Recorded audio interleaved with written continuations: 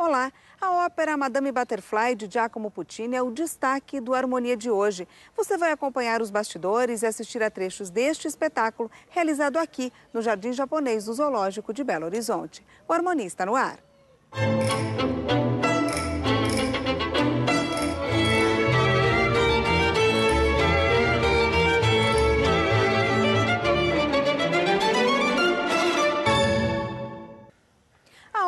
Madame Butterfly, do compositor italiano Giacomo Puccini, encenada aqui no Jardim Japonês do Zoológico de Belo Horizonte, agradou tanto no ano passado que o Palácio das Artes resolveu presentear o público mais uma vez com o espetáculo. Desta vez, quem assinou a montagem foi a diretora cênica Lívia Sabag. E o Harmonia, é claro, acompanhou tudo de perto.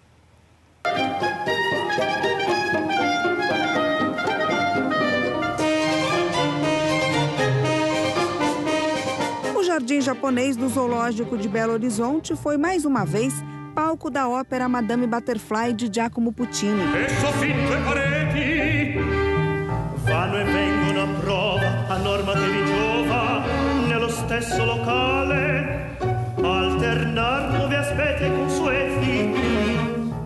A montagem conta a história de um tenente da Marinha Americana que se apaixona e se casa com uma geisha.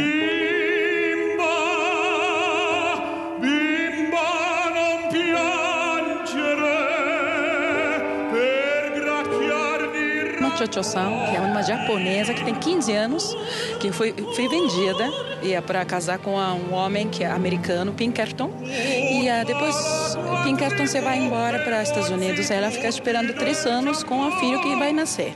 E afinal, como Pinkerton vai trazer a esposa verdadeira, ia dar esse é, filho que nasceu para né, né para Pinkerton e ela se suicida.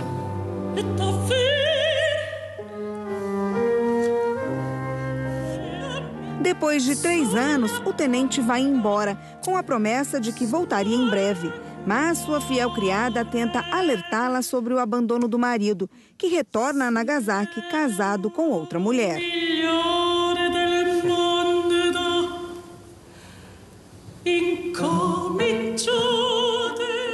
Pinkerton é um personagem difícil porque ele fica entre o herói romântico e o, traidor, né? Aquele que abandona a mulher.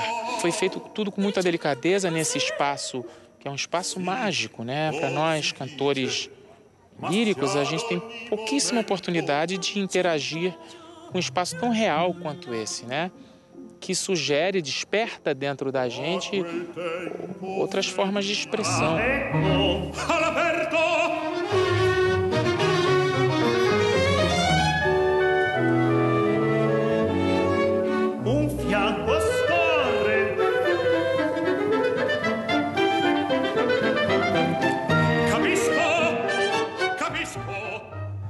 Baseada em fatos reais, a ópera se passa no Japão, em um momento em que o país estava quase totalmente isolado do mundo, até que por volta de 1870, um presidente americano enviou uma expedição de reconhecimento à Sua Majestade Imperial, com o objetivo de forjar laços de amizade com o Império do Sol Nascente.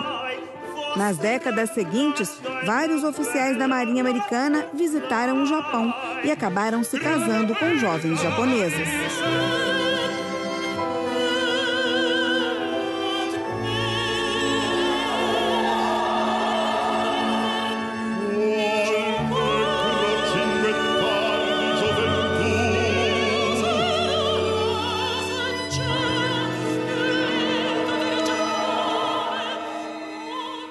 A história se passa num momento muito, muito decisivo do Japão, né? Dessa, dessa, entrada do estrangeiro, da entrada do americano né? Na, no Japão, esse, esse, esse, primeiro contato entre culturas tão diferentes, né? essa falta de entendimento, essa admiração enorme que um tem pelo outro, mas eles não se conhecem. Então eu quis manter a, a referência da época, porque para mim ela é muito fundamental na história, para contar essa história.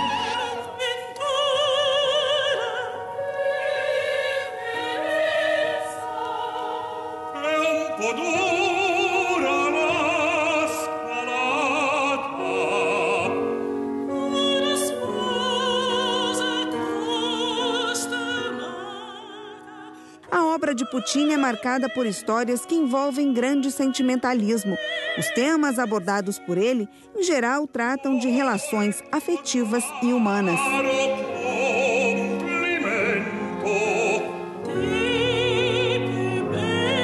Puccini foi um dos compositores de ópera mais importantes de todos os tempos, italiano, seguidor da tradição vocal italiana, um compositor romântico.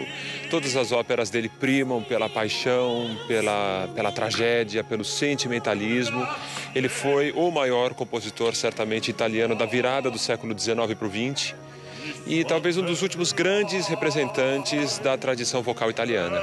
Madame Butterfly é sem dúvida uma das suas obras-primas, talvez junto com Boêmio e Tosca, Turandot, seja das óperas mais famosas, é repertório obrigatório de todas as grandes casas de ópera do mundo, uma das óperas preferidas do público e que teve seu, seu sucesso na estreia relativo, porque causou uma certa estranheza na primeira apresentação. Depois foi remontada e aí sim caiu nas graças do público. Tem esse atrativo exótico da música japonesa, ambientação japonesa.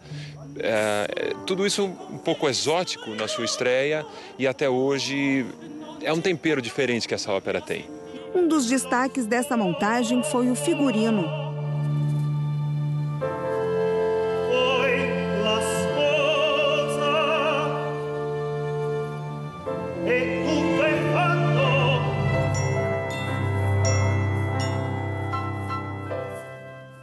Partir de uma pesquisa iconográfica profunda sobre o Japão, sobre geishas, é, sobre o Japão antigo, porque na verdade a gente decidiu então é, datar né, o figurino mais ou menos no final do século XIX, então também tinha uma pesquisa do Japão antigo e dessa passagem de século, uh, da Marinha Americana, né, da, da influência da Marinha Americana e do Ocidente no Japão naquele período.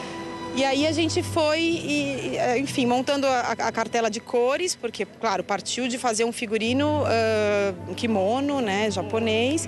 E aí decidimos, por estar num ambiente natural, né, é, aberto, em fazer uma cartela de cores mais tênue, mais delicada, né? É, todos os figurinos também dos solistas têm, têm muito forte, a gente trabalha muito com a direção isso, da, de como que vai ser a encenação, quais são os movimentos dela. Então, essa questão, vocês vão ver um pouco da, da borboleta, né, da butterfly, tem bastante no figurino, essa leveza das mangas, né, e, e é aí esse trabalho de movimento dos, dos cantores, né, com uh, os, os figurinos. O cuidado com a maquiagem dos personagens também foi um ponto importante, trabalhado pela equipe de caracterização.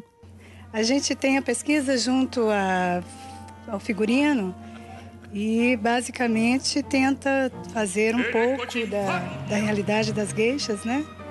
E com os produtos nacionais, porque enfim a gente não tem produto real japonês. A maquiagem da Eiko, basicamente, a gente vai fazer ela mais jovem, né? Então a pele tem que ser bem clarinha, bem branca.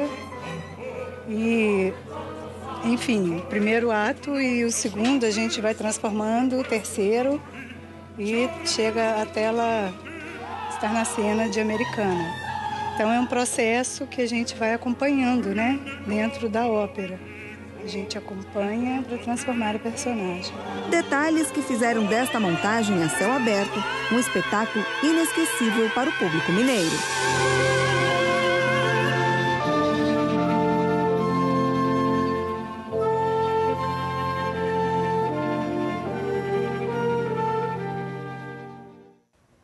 Depois do intervalo, você assiste a trechos da ópera Madame Butterfly. É um minutinho só, o Harmonia volta já.